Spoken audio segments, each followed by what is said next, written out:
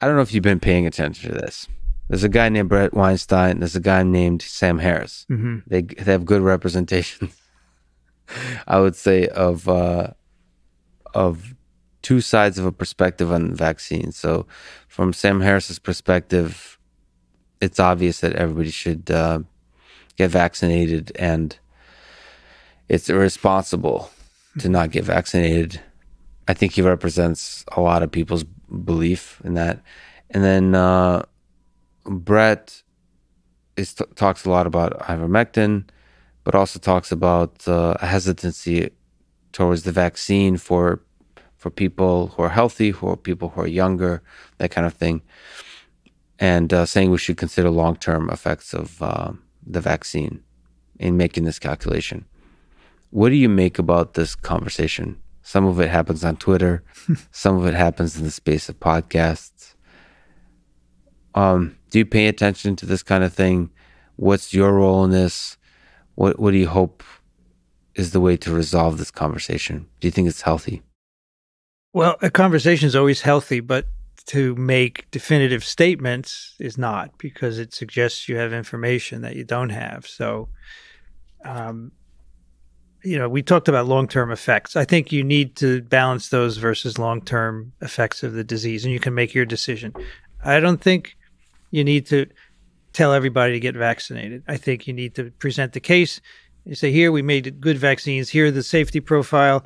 Here's the risk benefit balance. And you should decide. You're a smart person. You should decide. Um, now, companies are going to do differently, right?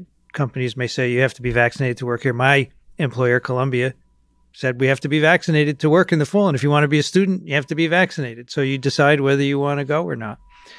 But the the idea that um, you should make a decision based on long term effects, there is no evidence, right? So how can you make a decision when we don't have evidence? Whereas we do have evidence that there are long term effects of getting COVID. So I don't think that's a fair argument, and it just makes people scared to say that. Yeah. But on the other hand, for someone to say it's a no brainer and to denigrate people for not being vaccinated, that's not the approach either because they're going to dig in and Yeah. say, I'm not doing this because you tell me to, right? I think the middle ground is to say, take a bit of both and say, here are the potential issues and here are the benefits.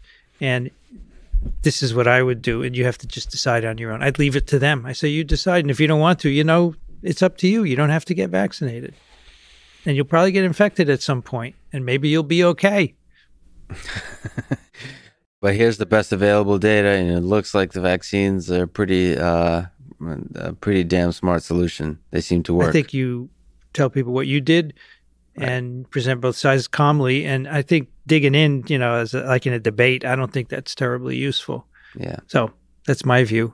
I, ch- I mean, people come to me all the time and ask me, "What I'm worried. What should I do?" And I say, "What are you worried about? Let's talk about it and go through it calmly." And if they want to still take ivermectin, I said, "It's fine. It's your choice." And I don't have a problem with that. I love that. I, I love that's the way you think.